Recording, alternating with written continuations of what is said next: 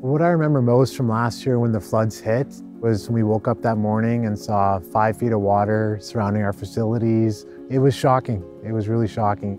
Seeing the devastation on the Coquihalla Highway, it's so surreal. It's like, how did so much water get there so fast? We got a knock on the door, the uh, police telling us that the dike had been breached. In the same breath, he said, so are you going or staying?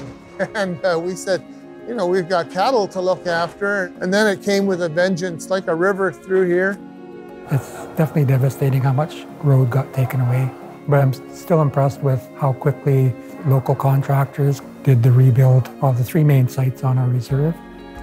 There was a lot of community spirit the evening of the, the 15th that they told us the pumps were going to fail.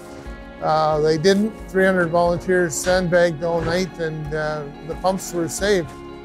People helped other people by offering beds, offering property to stay with an RV. It was just all hands on deck 24 7.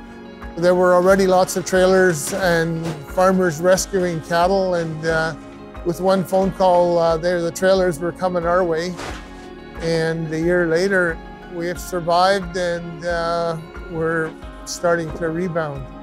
When these things happen, larger conversations happen in terms of preventative maintenance. How do we build a better diking system, which they're doing now, which we've been asking for for a long time, but it's, it's happening, which is a good thing.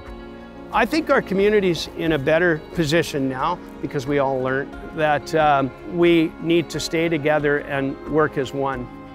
As British Columbians, uh, we deal with a lot already, but there's a community here that cares for each other very deeply. And I think everyone's getting back on their feet now, which is great.